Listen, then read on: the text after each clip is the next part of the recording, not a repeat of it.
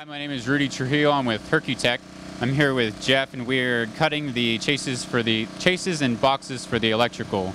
Um, what we have here is called a hot knife.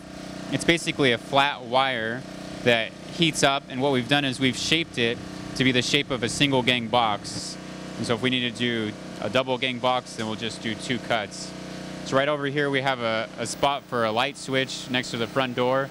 And so Jeff's going to go ahead and show us how quick and easy it is to cut this spot for the box. So the hot knife plunges through the foam. The plunge cut is a little bit slower because it's on the flat part of the wire. And then it cuts down, and then Jeff will pull it out.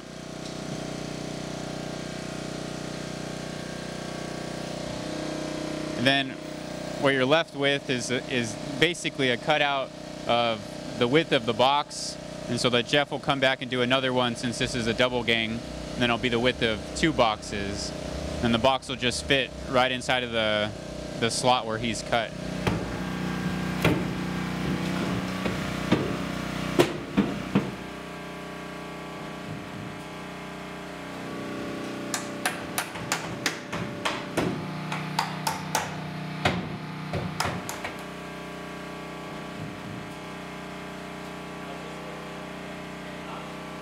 So the electrical chases are ran vertically down from the from the attic. They'll come down.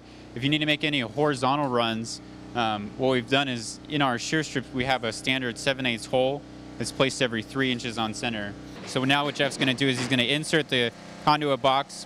The tab overlaps the shear strip, our metal fastening, and so Jeff's going to put a screw or two through that tab into the shear strip this is how plumbing interacts with Hercuwall. What you can see is that the sewer lines are ran inside of the two and a half inches of, of foam that runs the whole perimeter of the wall. So they're not hitting any concrete. They've just been able to, they're subbed out. We set the wall around it and then they just attach their pipes and come out of it. So what we're looking at now is how the HVAC system is ran in the house. Uh, this particular system, the condenser is outside and the uh, main blower unit is interior. It's going to use spray foam insulation underneath the roof deck, so all of the um, lines for the, the air conditioning system will all be in insulated spaces, so it'll be a very efficient setup.